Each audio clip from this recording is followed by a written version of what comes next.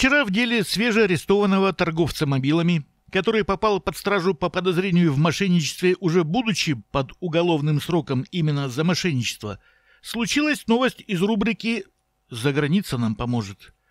Папа патентованного жулика, прозябающий на ПМЖ в Германии, впрягся за сына материально и погасил его жертвам их потери.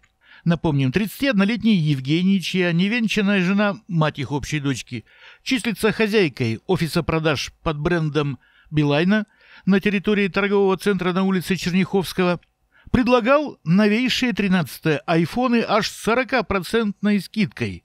На это дело клюнула в том числе и Алена, которая в конце декабря сделала стопроцентную предоплату за 4 телефона наличными, получив чеки на руки.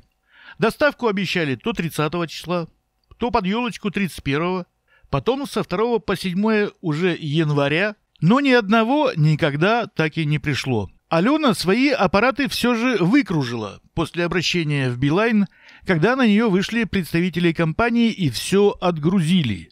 Когда на прошлой неделе она получила последний из четырех телефонов, в тот же день вечером полиция по заявлениям обманутых клиентов торговца – спеленала, и теперь он живет в изоляторе временного содержания под уголовным делом о мошенничестве, статья 159, часть 2.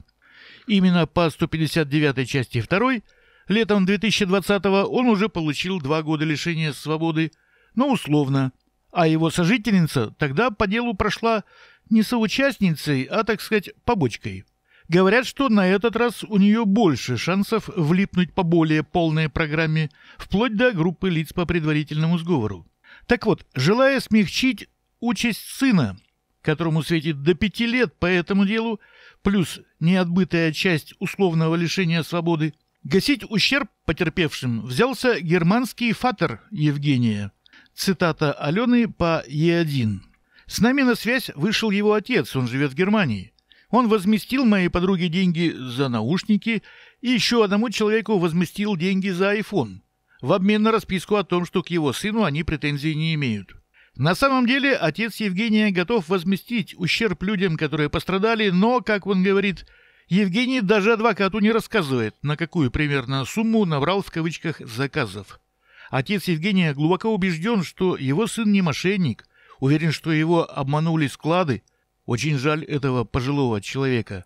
Конец всех цитат.